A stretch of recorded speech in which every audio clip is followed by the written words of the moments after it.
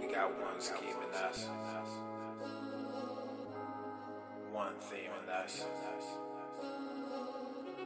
my whole life and that's one love. One love, got one dream and that's All right, come on in, fam. Today is Muscle Monday. We're going to talk about them titties. Come on in. We're going muscles. theme and that's Titties. Talk about them titties, baby.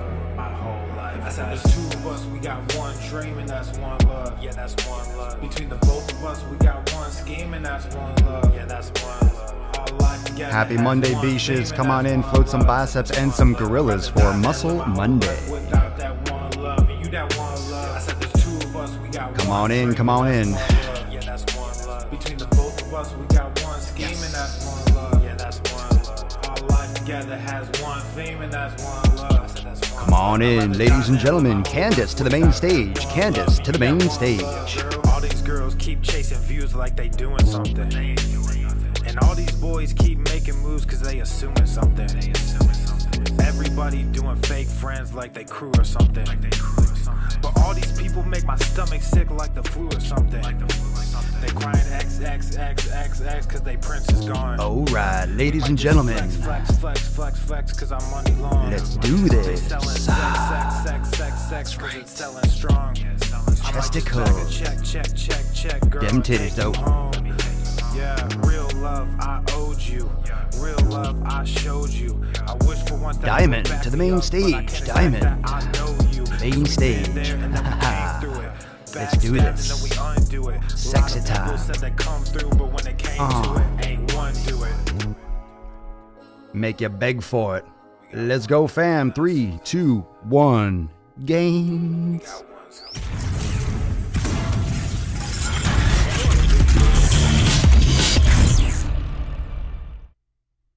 The sun is shining, the birds are chirping, the bacon is sizzling. Welcome to the Daily Swole.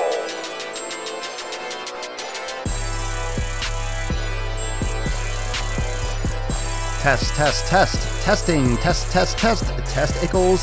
Testicles. Testicles. Welcome, everyone, to episode 815 of the Daily Mother Swole, the most muscular swolecast, beardcast, broadcast, gangcast, mancast, pimpcast, and sleazecast in the realm. Because when I flex, you flex, we all flex our biceps, the most muscular gain train that ever existed and ever shall be.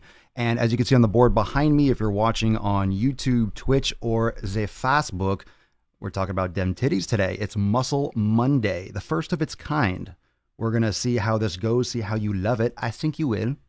I think you will. I think you will love it very much. I think you will love it very much. Hi, uh, very much. I usually love a muscle a Monday. Hi, Daniel-san, Daniel-san, banzai, Daniel-san, banzai a throwback, a throwback to one of the greatest movies of all time. Welcome, Instagram. Welcome, everybody, and to the podcast on Apple Podcast and on the Spotify and elsewhere, everywhere. 815. Yeah, Muscle Monday. Let me put this up.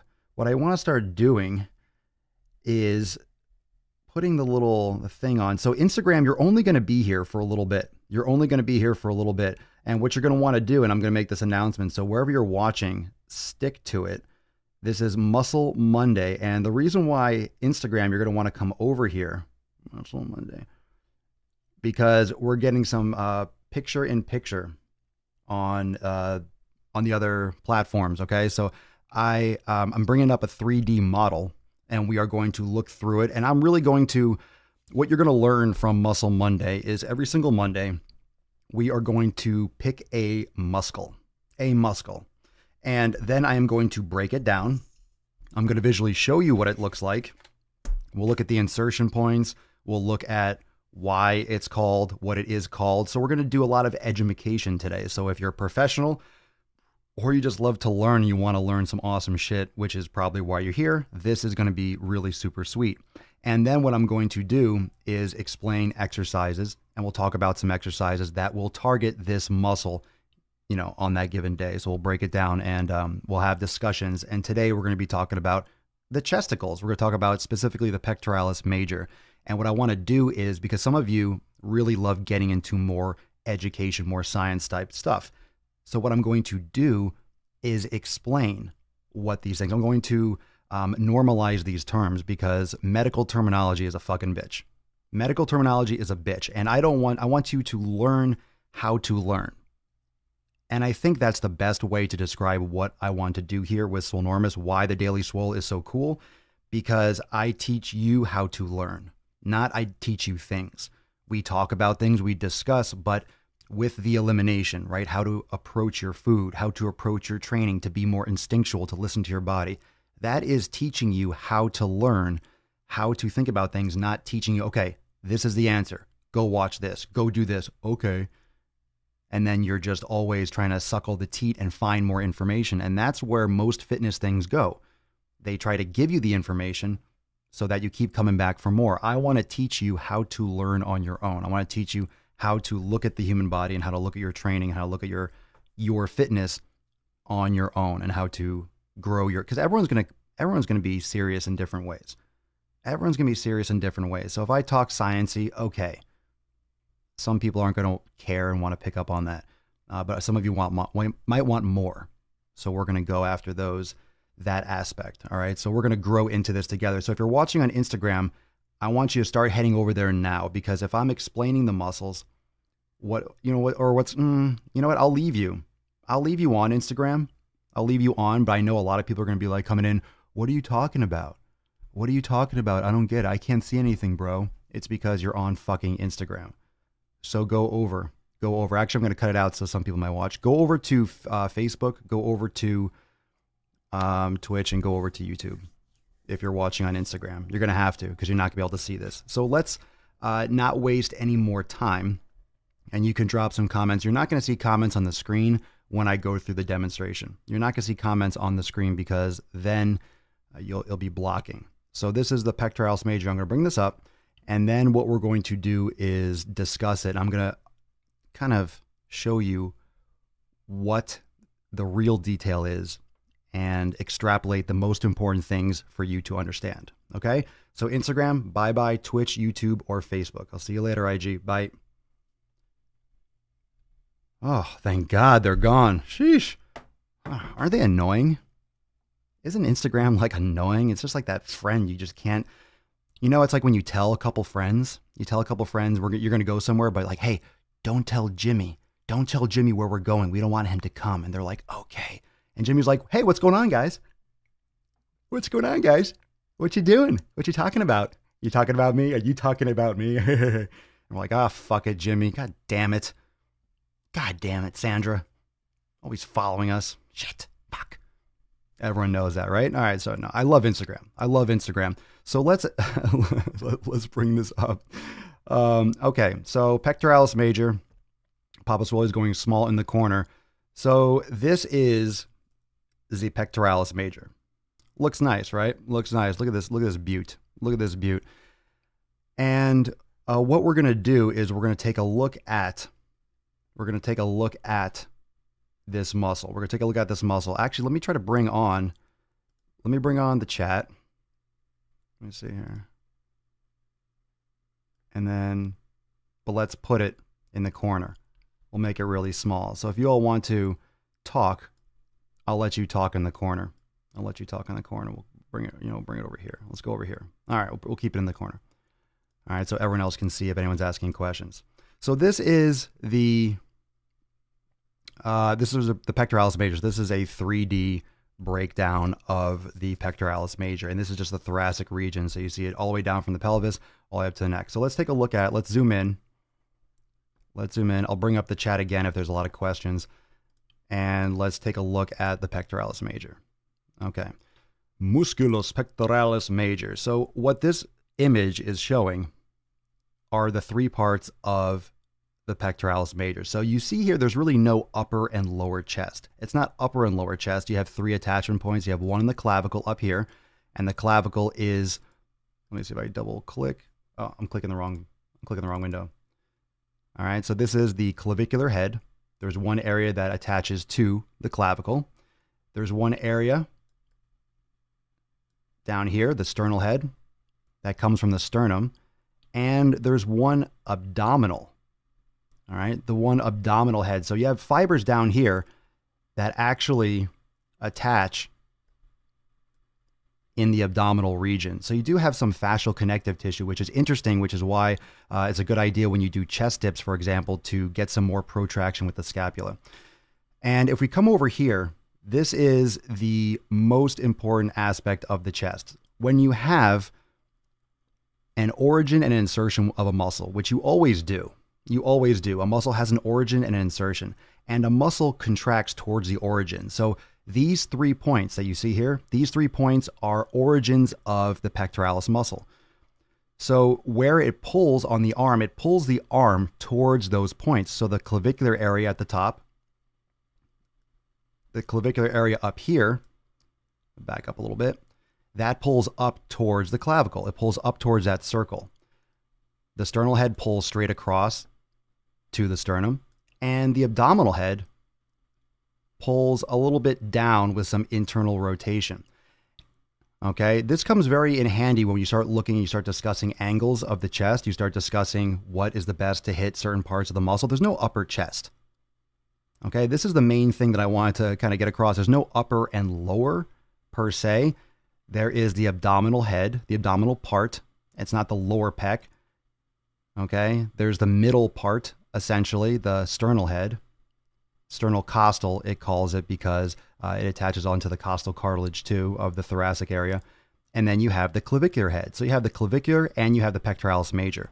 But the important thing to notice is that you have different angles. Just because you have the fibers in the center here, notice how some are coming from a higher point and some are coming from a lower point. And each one of those fibers is going to pull directly towards the origin. It's going to pull towards the midline of the body. And over here, you have the insertion into, as they call it in this app.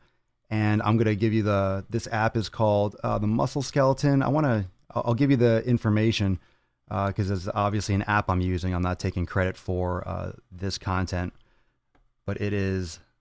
I'll give you the I'll give you the information. I'll put it in the in the bio if you all want to check this out the insertion point from the origin to the humerus inserts onto what I would learned as the bicipital or intertubercular groove. And I believe they call it here the insertion, uh, they call it the crest of the greater tubercle. So obviously, maybe they renamed some things uh, since I was in school because I went in school. I was about, uh, it was like 13 years ago. I was in college learning, you know, this stuff and doing kinesiology. So the names and the and the the phrasing is different. Maybe they broke it down a little bit more. Um, so let's let me read through this and pretty much let me break it down and explain what it means. So you're not looking at this and oh my goodness, what the heck does it mean? It's very simple. You have the origin, and this just breaks down what I just talked about the clavicular, the sternal, and the abdominal portion. The insertion is where the muscle attaches onto. So essentially, the origin is like where you're standing.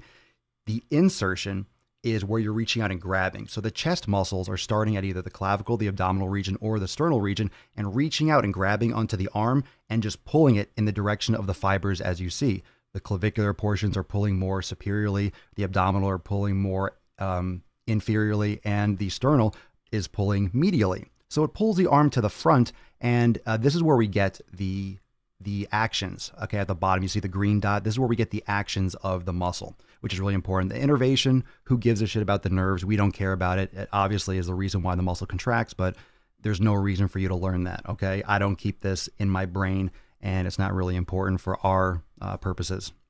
The action is where this becomes important. So once you look and you see the, um, you see the muscle and you learn how the muscle actually looks, then what you can do is you can tell the action of the muscle you're going to be able to understand and kind of infer what the action is. So you see, there's some fibers pulling from the top, there's some fibers pulling straight across, and there's some fibers pulling lower.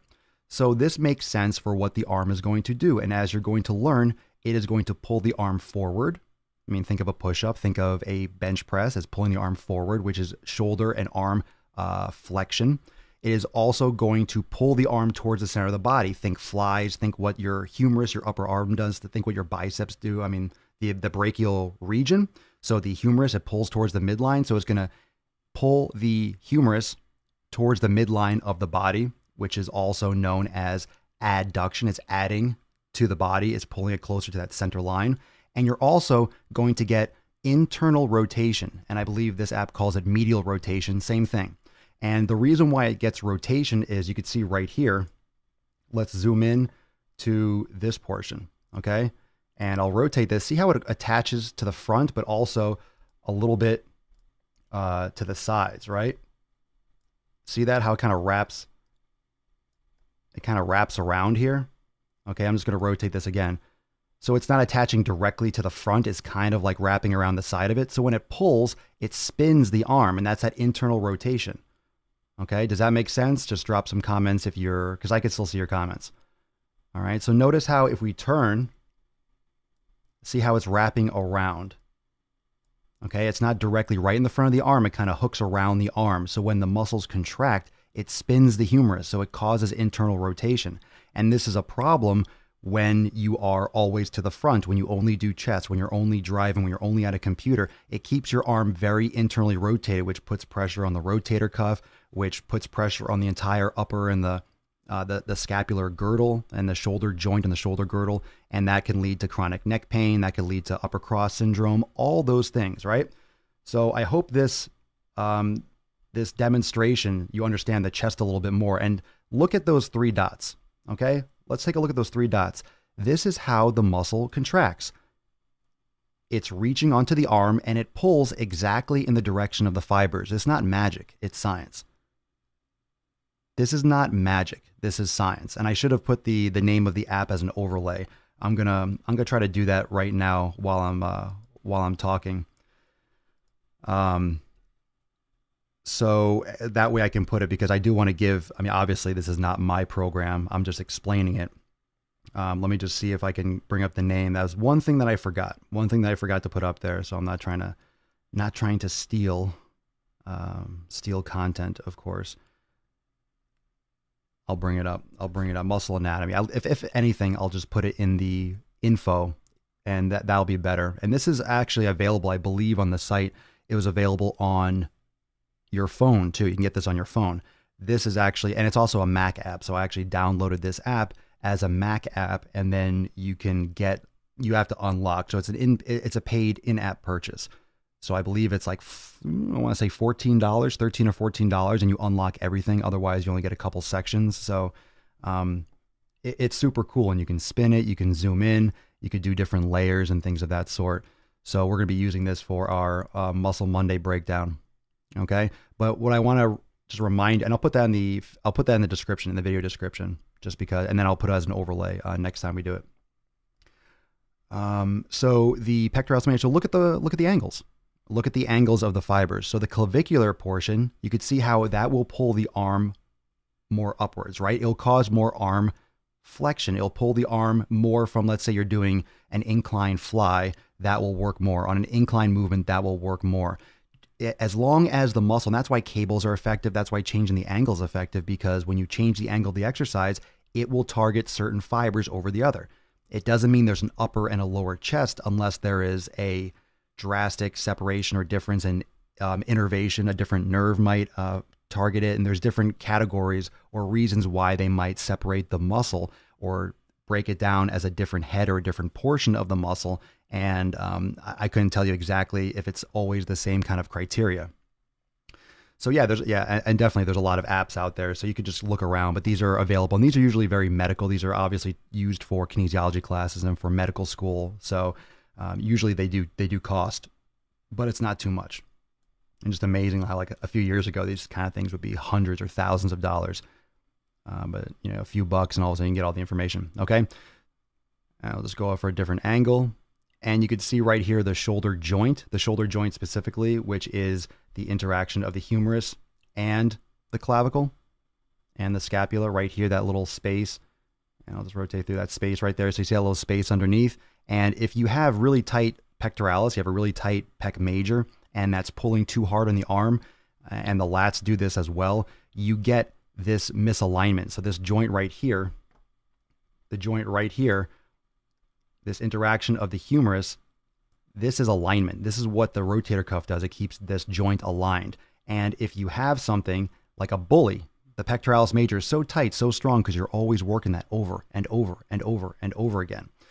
Uh, and you you know kind of like the bro muscles right? Everyone just does chest does chest and you're also driving and you're also at a desk and you're always watching tv and you're texting on your phone. These muscles get very very tight and stiff and then it pulls that humerus. It pulls the head of the humerus right there out of alignment and then you start getting rubbing in that little space underneath the uh, the, the scapula and the acromial process the clavicle. You start getting smaller space there you get inflammation and then that's when you start getting rotator cuff issues and shoulder pain and throbbing pain down your arm those pain referrals and so forth Okay.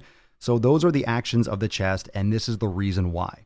It's not magic. Oh, I wonder what the chest does. What this this kind of content, fam, this kind of content allows you to be creative.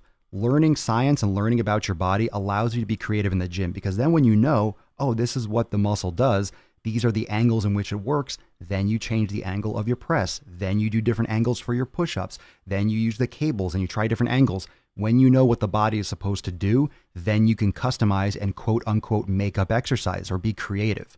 That allows you to be creative because you understand how the body works more. Okay? So super cool. And again, like I said, I will put the link to the app on the store. Uh, I'll put a link to the app or the name of the app and where to find it. I'm not sure if it's Google Play, but I have a Mac, so this is for this is a Mac desktop app. I think it also has um, an app for the phone for both phones for Android as well. I think, I believe.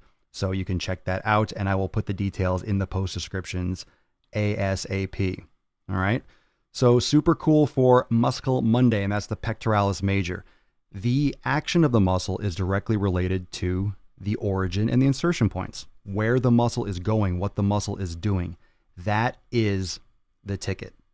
That's how you can be creative. That's how you can create exercises. That's how you can manipulate and break down an individual workout. And that's why a lot more volume can be necessary for certain body parts because when you're trying to accomplish proper overload and training for your chest, in many cases, you need to focus on the different angles. You need to focus on the different forces that can be applied to that muscle. And neglecting certain areas will give you an unbalanced muscle it will give you a muscle that's more developed in certain areas. And some people don't have much of an upper chest. Some people don't have much of a lower chest. Some people don't have much of a chest at all. And it's important to understand that although basics work, basics work, the regular bench press straight ahead works. I mean, you saw most of those fibers are kind of coming at a horizontal angle. That's why standard pressing is works. If you don't have any mass period, you don't need to worry so much about upper and lower. You need to just work the basic right down the middle, drive in the middle of the road. But then as you develop, as you get leaner, as you get stronger, as you get more advanced, you can start segmenting your training to target different areas, to target different areas of the pectoralis. And now let's take some questions. Let's have some more, um, some more uh, insight, and I'll bring back, I'll bring back on uh, Instagram. I'll bring back on Instagram, and we'll get some more conversation. We'll talk chest and we'll talk chest training and we'll talk about my favorite exercises because that's usually what I get the most of.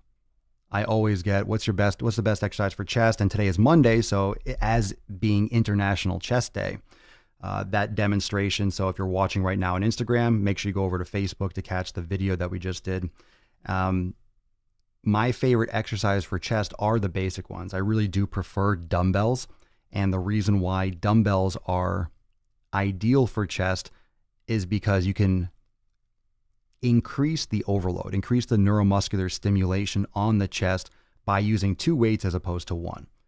The bench press is classic. It's simple. It's the legendary. Most people can go heavier on a bench press than you could with dumbbells. A lot of people could bench 400 pounds on a bench on a barbell, but not do 200 pound dumbbells. That's obviously a massive difference. And why are they so different? It's because there's two weights as opposed to one, and that increases the overload on your neuromuscular system. The nerves and your nervous system triggers the contraction of the muscle. And when you have to juggle two weights is more challenging than one. That's why dumbbells are going to be more challenging for your body. Not to mention you have to kick them up or have someone hand them to you, and it's a very awkward. Uh, it's a very awkward exercise when you start getting super super heavy. That's why you don't see max reps and powerlifting competitions with dumbbells. For and another reason is you can't you can't control it as well in terms of safety and also accuracy for testing. Um, you know, how far do you push together? Do you tap the dumbbells? It's not really um, the most It's not necessarily the most functional thing, but it's natural to have things in your hands that are different weights. That are different weights. Like you you'll carry groceries. You don't have the same amount of weight on your left arm as you do your right arm. It's never completely even. You have your child in one arm, and then you have your purse in the other, or uh, your briefcase, and you know, and then you have you're imbalanced all the time. And that's why yoga, stretching, and proper training styles are important to create balance in the body, to create balance in the body, because we don't work with balance during the day. That's why it's so important to train with balance and both. You get a lot of random shit during the day. So it's important to align yourself. It's, a, it's important to balance your body out, balance your training out so you can create balance as a foundation, but then also in your training with yoga and with unbalanced training and some of the stabilization stuff that we do. Those of you that are in Swolenormous X, you're familiar with the single leg exercise. That puts stress on one side and causes the body to need to react and and stabilize an unstable environments. And that's important too because we have life is pure chaos. Life is pure chaos. And if you're training with chaos, that just kind of overloads your body with more chaos. You need to train with control and get specific and technical because you don't get specific and technical in your life. That's why bodybuilding works. You don't get that kind of focused overload on certain muscles in the right volume in daily life. You don't put away groceries for five hours and just you're squatting, lifting. You don't put away groceries that weigh 200 pounds. That doesn't make any, I mean, you would get a lot bigger if you did, but that's why we do squats. That's why we do deadlifts. That's why we overload the body with several sets, with moderate repetitions, because we overload the body specifically for what we want to cause as an effect. And if we don't exercise, our body adapts to the overload that it needs to. And we do a little bit of everything every day. We're sitting down, we're standing up, we're walking here, we're lifting this, not too heavy, not too little. We lift something heavy, maybe a bag or a garbage bag once in a while. So we adapt to it and that becomes normal. And that's why building muscle, we have to adapt to something that's more challenging. That's why you have to do overload training repeatedly for a long period of time, you know, over courses of months and years. And then your body adapts to that and gets bigger. So my favorite exercises for for chest are I love dumbbells. I love incline dumbbell. Flat dumbbell, not so much. I love incline because I love the stretch and I love uh, just the way it feels on my shoulder. I can get a lot more of a retraction in my scapula. I can get a lot more deep and into the movement. So I prefer that. I also am a big fan of crossovers, um, but I love kind of a pressing crossover movement. I love taking the cables and doing a, a, crossover press, not so much a fly, but a press where I cross over. So as you you saw from the breakdown, get a lot of that adduction, that horizontal adduction, get a lot of that bringing of the humerus towards the midline of the body. And if you can isolate that, and that's why some of those exercises I've demonstrated in the Daily Swole Club and in Swolenormous X, like the pinch press, are really good for that horizontal and that shoulder adduction, that bringing the arms towards the midline of the action of the chest. Because when you're holding for a pinch press, when you're doing and you're squeezing at the end range of that cable crossover exercise, you are maximizing that horizontal adduction under tension. And when I say horizontal adduction, that just means bringing it together um, in a horizontal plane, kind of like a cross. So it just brings the upper arm, the biceps area, the brachial area towards the midline of the body. All right. So that is one of my, those are two of my, two of my favorites. I love chest dips as well, wide chest dips with a scapular protraction at the top. I love really pushing forward and kind of rounding my back to get a little bit more of those abdominal fibers that you saw in the breakdown. Actually, I'll bring that up right now. If we bring back the lower fibers, and that's this right here, this area, this dot right here, that's what I really love from those wide chest dips. Okay. And you get that real protraction with the scapula, which allows this area to really shorten more. It gets a lot more of that action if you do a protraction with your scapula at the top of the movement of wide chest dips. So you really get into these fibers more when, oops, I pulled that completely out of place. I keep clicking the wrong screen. I keep clicking my my broadcast section. All right, so when you're protracting at the top and you kind of get that little abdominal crunch, you really build out that lower area right where that dot is here, right there. And that's awesome. So all those different angles that you can achieve I love crossover. I mean, I love um, you know dumbbell pullovers. That's a great stretch. The dumbbell pullover gets the abdominal section too. And those of you that actually, actually, I'm going to bring this back because that's if I had to pick four exercise, that's what I love. I love those crossover chest presses that really exaggerate the adduction of the humerus. I love dumbbell pullovers because the dumbbell pullovers get this area a lot. And if we zoom out, you can see how a pullover that means the humerus is over your head. If you know what a dumbbell pullover is, if you don't, you can Google it. Arms come back over your head and you're pulling forward and you're lying horizontal on a bench. And you can see these fibers right here, this area, right? This area right here, this little yellow area right here. See where that is. When you externally rotate the arm and it goes over your head, that goes up in like the armpit area. So that's where that stretch is going to get when you do the dumbbell pullover. And then these fibers here at the bottom are really going to stretch maximally. And you can imagine that when we talk about the dumbbell pullover, when you go and you try that exercise, these fibers right here are stretching the most. They're stretching like crazy, like absolute crazy. So that's a great way to build that abdominal area. And it's great to work on the breath and thoracic expansion. And those are my favorite exercises. I love the dumbbell, dumbbell press, I love chest flies. I like those and the crossover presses and the dumbbell pullovers. You know, pinch press and stuff is great. Pinch press and stuff is great, uh, but those are really my favorite. Those are really my favorite, and that's why. And now you can see, and you, now you can relate to it a little bit more why those exercises actually work in different ways, why those exercises are different. It's not just, oh, we're doing incline because it's time to do incline. You know, we're not doing incline just because. We're not doing incline just because we feel like it. We're doing incline because it works a different area of the body. It works a different area. Now you can manipulate a lot of these things when it comes to bands, when it comes to cables, when it comes to dumbbells, when it comes to barbells. And that's how you can change it to hit those different areas. But if you're just starting out, keep it simple. If you're just starting out, keep it simple. Keep it simple. No need to get fancy. No need to get fancy. Too many people get fancy. Too many people get fancy when it comes to chest training. Too many people get fancy when it comes to anything, honestly. Um, but as long as you are training with the proper overload, that's what's going to separate you from someone who just sits on a machine you'll be stimulating your muscle fibers more if you're doing dumbbell exercises, if you're doing cables, if you're doing bands, if you're doing barbell because your body is stabilizing more. Same reason why two weights, why dumbbells are going to challenge you more than a barbell, the same way why a barbell will challenge you more than a chest machine because you have to stabilize. You're going to activate more of those fibers. And then once you build that overload, that volume, that hypertrophy over time, then I would recommend not necessarily getting fancy, but you can get fancier. You can start expanding your chest training, start throwing in more angles, start throwing in more things to mix it up. Okay. And we will do this every Monday. If you, I mean, I, am slated. I'm ready. I'm ready to do this every Monday and do a muscle Monday. If you enjoy, uh, enjoyed this content, enjoyed this education, kind of the comments really died. Is anyone, is anyone on online? I'm not seeing anything pop up on Facebook. I'm not sure if it disconnected.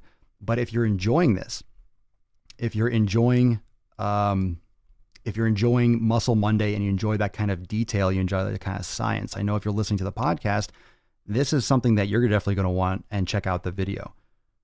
You're definitely going to want to come and check out the video. And I hope what you gather from this, really the takeaways that I want. I know a lot of you, everyone's probably just watching and listening. The takeaway, the main takeaway I want you to get from this type of content is to understand what these phrases mean so you can learn more. So it might inspire you to take your fitness more seriously and take it to the next level on your own and be able to. You're not looking at this adduction, flexion. What the fuck does that mean? Wait, I don't get it. It's very simple. When you look at these muscle charts, look at where the origin is, look at where the muscle inserts, and it's going to pull in a straight line. Muscles don't push. Muscles don't push, they shorten. They shorten and they lengthen. And depending on where they're shortening and lengthening from, what direction, where, where they're pulling from, where they're reaching out and grabbing and pulling towards themselves, that's going to relate to what action the skeleton takes. That's it. That's where you're going to, that's what's going to happen. If it's pulling from a little bit of a lower angle, it's going to pull that bone down. If you're pulling from a higher angle, it's going to pull that bone up. If you're pulling from the front, it's going to pull that bone to the front. That's all it does. That's how muscles work. Muscles don't push, they don't stretch and push. They pull, they shorten. The chest shortens and pulls the humerus forward. And it looks like, hey, we call that pushing. It's not pushing, it's just moving this direction. The pectoralis major is just shortening. A muscle shortens. So once you understand where it's pulling from and how it's shortening, then you just know what it does. And you can pretty much you can I, I want to say guess, but you can deduce what it does just by looking at it. And what's cool and what we'll get more into in the future is not only are there actions that that muscle does because the trick I don't want to say trick, but the complication and where kinesiology, which is the interaction between those, um, you know, the, the movement, um, the movement systems of the body, like bones, tendons, ligaments, muscles, all those things. You know, muscles and tendons are kind of the same thing. So uh, that's what kinesiologists study of kinesiology. But when you have an isolated, that was an isolated function, because what complicates the movement of the human body is that the pectoralis major isn't working alone. So if we go back to the pectoralis major, we go back to this scene, notice how we have this here. Okay? Looks cool, right? You guys ready for this? That's what it really looks like. Okay? That's what it really looks like. So when we actually look at the body as a whole, it's not just the humerus. It's not just the humerus and the pectoralis that are in, involved here. It's not just the pectoralis major. You have the you have the platysma up here. You have uh, the deltoids here. You have you know the serratus anterior over here. You have the obliques here. So you get all these different muscles, and not the obliques aren't attached, but the serratus anterior is attached to the scapula. You have the lats are attached to the humerus. You have the deltoid up here attached to the humerus. So you have all these other muscles that are around at the same time. So it's not just, hey, it's the pecs. The pecs do this. When the pecs work, it pulls in this direction. Now you'll start to see why integrated function is also extremely important. So when you have the pectoralis major working along with the lats or along with the serratus anterior or along with these other muscles, there are integrated actions when you have certain muscles working in unison or working or contracting or one's holding intense while the other one works, you might have a different action. So you're going to have isolated actions and you'll also have integrated actions. What that muscle does in conjunction with other ones. So whereas the pectoralis major will do that if you're only pulling on from that direction, but the lats, the rotator cuff, the serratus anterior, you have the deltoid, you have a lot of muscles also in the area. You have a lot of other people that are in the same room essentially. And then you start getting more complicated. But that's why posture can get out of balance because you have the pectoralis major that's really tight, and you have the lats that are really tight, and you have the anterior deltoid that's really tight, and you have the platysma that's really tight, and you have the pectoralis minor that's really tight. You have the abdominals that are really tight. And then you have muscles that are very weak. The infraspinatus is very weak. The teres minor is very weak. The posterior deltoid is very weak. The rhomboids are very weak. Blah, blah, blah is very weak. The lower trapezius. And you have an imbalance. The muscles on the back are sleeping. They're not working. They're very weak. And the muscles in the front are very, very tight, stiff, and stagnant and fucking petrified. Why? we're always doing stuff to the front. We're always hunched over. We're always driving. We're always in an office at a computer.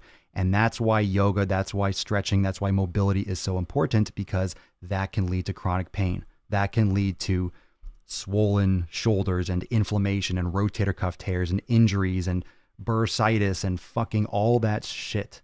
That's where it comes from. You tear your rotator cuff, it's because you have an imbalance, most likely.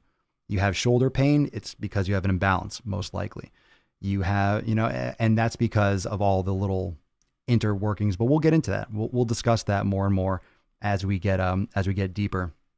And there's different layers, and we'll break into this app. And uh, like I said, I'll put a link to it in the description uh, later today.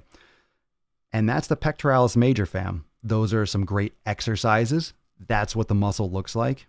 And this hopefully will inspire you to pay attention more to what your body does and realize that it's complicated if you get really, really Mr. Science about it. You can get so into it And that's the problem with some of these kinesiology courses in college and courses that you'll take online or anywhere. You're going to learn about the nerves. You're going to learn, you're going to learn about all this shit that doesn't fucking matter. You're going to learn how to memorize. Oh, don't forget to fill this out in a chart. You can regurgitate information. Fine. But do you know why it does that? Do you know what the best exercises are? The human movements, do you know what that working too hard too often in most integrated movements, what that's going to cause in the body as an effect? Very important stuff. The application. Being a practitioner of this content in the gym, taking this information and applying it to your fitness, and then wanting more and I can give that to you. And that's really the goal here is to help you understand what this type of stuff means so you can absorb this information better. So you learn your body better. So your workouts can be better. So you can get injured less. So you can see more progress more consistently. All right. So, Muscle Monday. If you have any muscle that you are interested in seeing for next week, make sure you drop it down in the comments. And if it blows the fuck up, we may do it more often. We may do it more often. But I need to see I need to see that as proof. If you really love it, maybe I'll do a poll. But share this, tag someone because this wasn't Papa Swolio ludicrous, you know, uh, swearing and all that stuff. This is really down to earth and very, very technical. I wanted to create a contrast episode that really focused on this type of content to see what you are interested in. It's a nice change. It's a nice change. And I can't, I'm not going to say that I'm never going to fucking swear. Oops. but this is going to be a lot more information. And I have to really focus on that. And we're not going over philosophy and nutrition um, because I want you to learn. I want you to really get a little bit more serious with your fitness. And you're not going to find this shit very easily on the internet. You're not going to find this shit very easily on the internet. And if you find it, it's going to be very confusing. And if you find it, it's going to be all in different fucking places. And it's going to be very like, oh my God, I don't understand. Like, you know, you're going to have to piece it together. And then it's like, well, why don't I just go to school? And yeah, you can go to school and get in massive debt and spend hours on the internet, but we'll do it here. So drop what exercise or what body part, not what exercise, what body part you want to see, what body part or what muscle you want to do next, what you interested in, what you want, what you want. And make sure you flood that. If you really enjoyed it, drop a comment. And I might even do a poll here later on Facebook. And some other, in the other news, brand new driving while gaining, I went absolutely apeshit on the Shiggy Challenge. I went apeshit on the Shiggy Challenge, new driving while gaining, and that's already on my YouTube channel. And I put a little snippet also on Instagram and I may just drop it on Facebook as well. But right now, going over to my YouTube channel at Swolenormous, and you can subscribe for all the future videos. I put daily swole clips on there as well. There's vlogs, there's training content, and there is a brand new driving while gaining shiggy bullshit challenge. And if you don't know what that is, when people get out of the car and dance and almost die. And yeah, I toured a new one. I, saw people on Instagram saying that new fucking Drive While Gaining was hilarious. So go check it out. Yeah, go check it out. If you haven't yet, go check it out and uh, and share that shit. Get it out there. All right, fam. I hope you enjoyed Muscle Monday. That is the pectoralis major. We'll do another muscle uh, next week. And let me know what you want to see next. Just put that in the comments below. Remember the podcast, Apple Podcast, and Spotify, Overcast, SoundCloud, wherever you like to watch. You can subscribe and you can um, get notified when new episodes are uploaded for the podcast. And I will see everyone for tomorrow for episode 816 of the most muscular Swolecast, Beardcast, Broadcast, Gaincast, Mancast, Pimpcast, and Sleevescast in Zarel. Because when I flex, you flex, we all flex our biceps. Thank you so much for joining me for this Muscle Monday for 815, the Pectoralis Major. I'll see you tomorrow for 816. Peace, McGee's fam. Deuce Magoose, Papa Swolio. Oh, oh, oh, oh, oh, out.